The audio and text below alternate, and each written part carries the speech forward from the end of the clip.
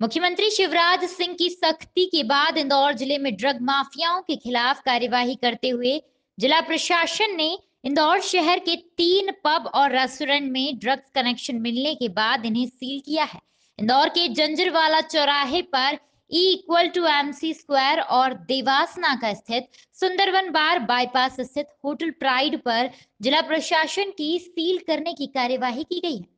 दरअसल drugs scandal में पकड़े गए आरोपियों ने पूछताछ में इन तीनों पब रेस्टोरेंट, बार में ड्रग्स सप्लाई करना स्वीकार किया है। इसी के तहत जिला प्रशासन ने आबकारी अधिकारियों के साथ मिलकर कार्यवाही की और इन तीनों पब और रेस्टोरेंट को आगामी आदेश तक के लिए सील किया है। माना जा सकता है कि इसी कड़ी में शहर के अन्य और बड़े और रेस्टोरेंट सील